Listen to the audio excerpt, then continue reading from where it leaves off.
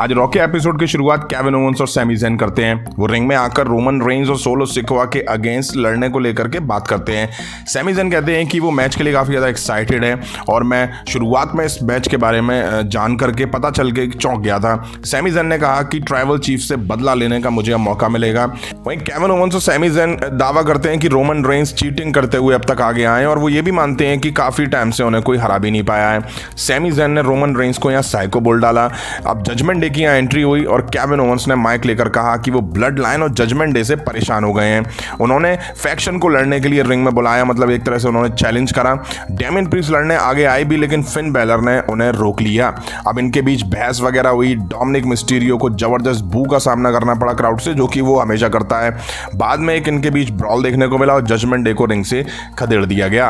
इसके बाद हमें मिस वर्सेज नाकामुरा के बीच एक मैच देखा। नाकामुरा ने अच्छे से इस मैच में मिस को लते आया मिस भी कुछ कम नहीं पड़े उन्होंने भी अच्छा कॉम्पिटिशन नाकामूरा को दिया। वहीं अच्छा मैच दिखा इन दोनों सुपरस्टार के बीच में।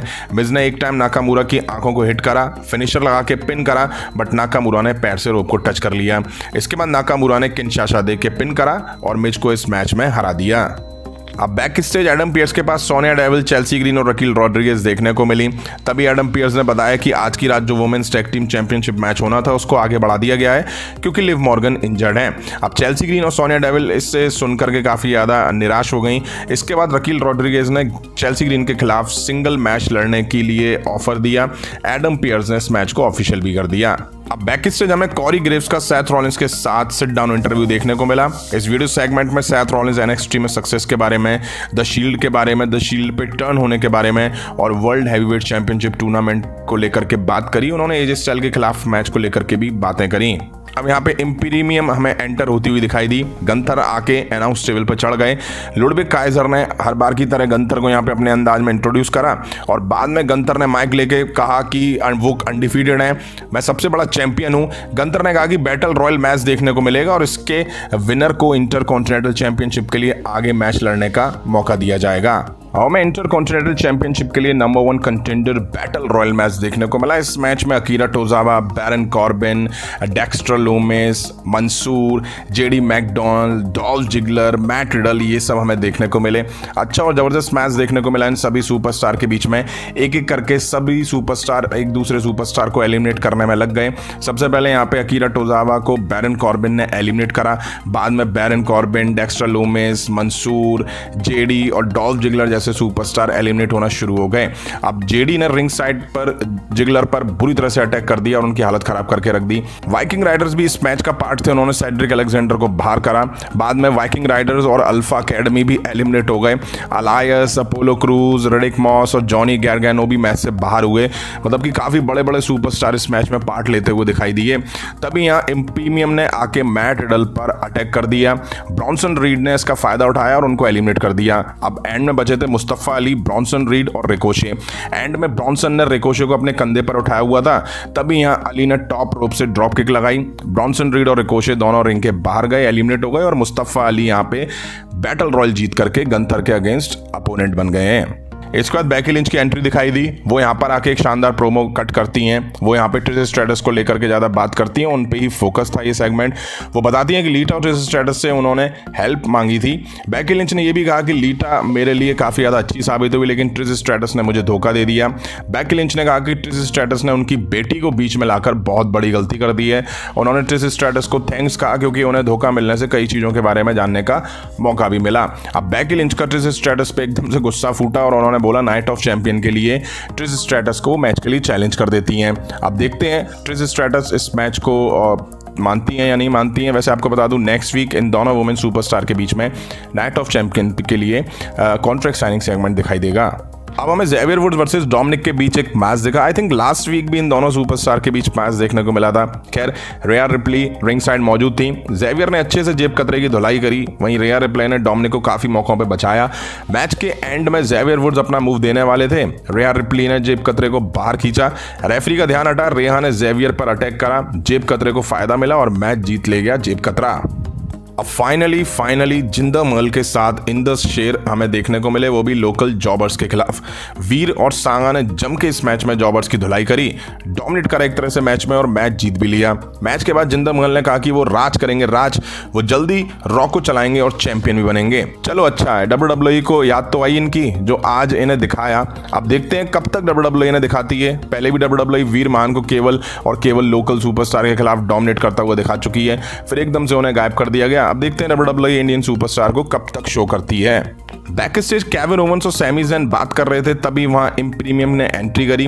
कैविन ओवंस ने गुस्से में आकर नेक्स्ट वीक उनके against six man tag team match लड़ने के लिए हाँ कर दिया। इम्प्रीमियम ने उन्हें मैच के लिए चैलेंज भी करा था। अब हमें डब्ल्यू डब्ल्यू डिवीज़न का सबसे ज़्यादा बोलने वाला सुपरस्टार कॉडी रूट्स का प्रोमो देखने को मिला। वो बताते हैं कि ब्रॉक लेसनर ने रॉ में नहीं आने का फैसला लिया है। कॉडी रूट्स ने यहाँ स्कॉर्पियन ऑफ़ फ्रॉक की एक कहानी भी सुनाई।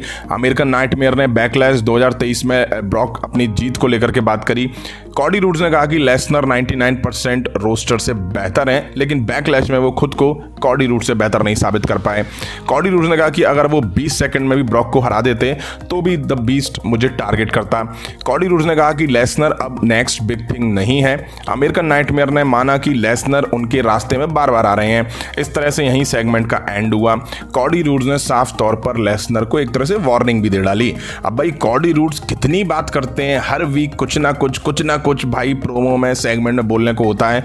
अब ये लगातार हर वीक दिखता है ना तो कहीं ना कहीं अब बोरियत सी लगती है। आओ, में Raquel Rodriguez versus Chelsea Green के बीच एक मैच देखा। अच्छा मैच देखा दोनों वुमेन्स के बीच। रकील रॉड्रिगेज ने अच्छी पावर दिखाई इस मैच में। वहीं चेल्सी ग्रीन थोड़ा स्ट्रगल करती हुई दिखाई दी।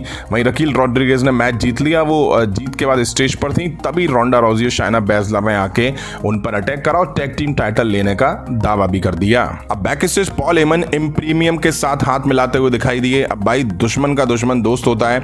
इम्प्रीमियम के मेंबर्स तो चले गए और पॉल हेमन ने रोमन रेंस को यहाँ पे कॉल कॉल करके कुछ बताया। अब टाइम था मेन इवेंट का, जहाँ हमें Kevin Owens Sami Zayn versus Damian Priest Finn Balor के बीच टैग टीम मैच देखा। रिंग साइड मामी और डोमिनिक यानी कि जेब कतरा भी मौजूद था। अच्छी शुरुआत हुई इस मैच की, जिसमें कैवन ओवन और सैमीजन ने बैलर और खास करके डेमिन प्रीस को अच्छे से खर्चा पानी दिया। वहीं डोमिनिक और रेयर रिप्ली ने इंटरप्ट करा तो रेफरी ने ये देख लिया और दोनों को वहाँ से चलता कर दिया। ये स्टेज पर थे तो जेवियर वुड्स ने आके जेब कतरे पर ज़बरदस्त अटैक करा और दौड़ा दौड़ा के भाई मार दी। अब पॉल एमन भी स्टेज पर आके खड़े हो जाते हैं। मैच कंटिन्यू हुआ। अब डैमियन और बैलर भी इन पे हावी होने की कोशिश करते दिखाई दिए। अच्छा मैच देखा इन दोनों टीम के बीच में। अब यहाँ इम्प्रीमियम भी रिंग साइड एंटर हो जाते हैं। कैविन ओवन सिस्टर दे के पिन करते हैं तो रेफरी को ये अपनी साइड फंसा लेते हैं। सेमीज एंड हेलवा किक दे के पिन करते हैं तो फिर से रेफरी को इम्प्रीमियम अपनी साइड फंसा लेते हैं। अब गंतर सेमीजन को इंटरप्ट करते हैं, फ़ायदा बैलर को मिला और पिन करके वो मैच जीत ले जाते हैं। मैच के दौरान पॉल हेमन किसी को फ़ोन पे सब कुछ बता भी रहे थे। यहीं आज रॉका एपिसोड एंड हुआ है। नेक्स्ट वीक होने वाले रॉके एपिसोड के लिए कुछ बड़ा अनाउंस हुआ है। ब्रॉक लेसनर और Cody Rhodes face to face होंगे। बैके लिंच और स्ट्रेटस के बीच नाइट ऑफ़ चैंपियन में जो मैच होने वाला है, उसको लेकर के कॉन्ट्रैक्ट साइनिंग सेगमेंट भी देखने को मिलेगा। वहीं पॉल हेमन ने केविन ओवंस और सैमी जैन के अगेंस्ट इम्प्रीमियम और जजमेंट डे को कर दिया है। मतलब कि एक तरह से रोमन रेंज के कब्जे में हो गए हैं ये सारी टीमें और केविन ओवंस और सैमी जैन के अगेंस्ट दिखाई दे रहे हैं। उसी का खामियाजा केविन ओवंस और सैमी जैन को उठाना पड़ा। उनको हार मिली है चीटिंग से मिली है, लेकिन हार मिलती हुई दिखाई दी है। वहीं बात करें कॉडी रूट्स की तो उन्होंने ब्रॉक लेसनर को एक तरह से वार्निंग दे दी है। रॉक का सबसे ज़्यादा बोलने वाला सुपरस्टार भाई कॉडी रूट्स ही है, क्योंकि हर वीक कुछ ना कुछ कुछ ना कुछ भाई साहब बोलने को कॉडी रूट्स पर होता है। ऐसा कभी नहीं होता कि कॉडी रूट्स बिना बोले निकल जाए। रिंग से। अब अब एपिसोड आपको कैसा लगा कमेंट करके ज़रूर बताइएगा। अभी की वीडियो में इतना ही। पसंद आए तो लाइक और शेयर करें। और इस तरह की इंटरेस्टिंग अपडेट्स के लिए चैनल को सब्सक्राइब करें बेल आइकन को प्रेस करें।